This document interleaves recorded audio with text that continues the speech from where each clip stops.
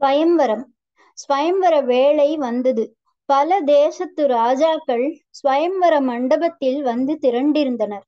நலனும் வந்திருந்தான். ஒரு நலன் இல்லை. ஐந்து நலர்கள் ஸ்வயம்வர மண்டபத்தில் பிரசன்னமாகி இருந்தார்கள்.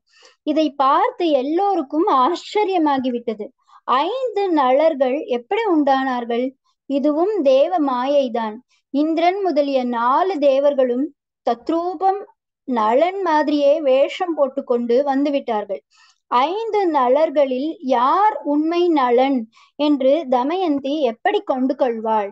எவனோ ஒருத்தனுக்கு மாலையிடுவாள் அது நிஜ நலனாக இல்லாவிட்டால் தங்களில் ஒருவனுக்கே அதிர்ஷ்ட சீட்டு விழுந்து விடும் அல்லவா?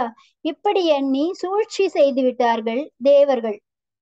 முதலில் வெட்கத்தை விட்டு நளனிடம் வேண்டினார்கள். இப்போது அவன் மாதிரி உருவம் எடுத்துக்கொண்டு வேஷதாரிகளாகி விட்டார்கள். பெண் ஆசை அத்தனை பொல்லாதது. தமயந்தி ஸ்வயம்வர மண்டபத்துக்கு வந்தாள். ஒவ்வொரு ராஜகுமாரனாக தாண்டி கொண்டே வந்தாள். நளன் ஒருவனையே மனதில் நினைத்து கொண்டு வந்தாள். கடைசியில் பார்த்தால் ஒரு நலனுக்கு பதில் ஐந்து நலர்கள் இருக்கிறார்கள்.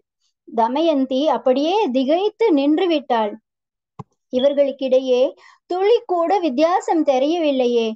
தவறாக நிஜ நலனுக்கு மாறாக இன்னொருத்தனுக்கு மாலை போட்டுவிட்டால் பாதிவிரத்தியத்துக்கு தோஷம் வந்துவிடுமே என்று நடுங்கி திக்பிரமையுடன் நின்றாள்.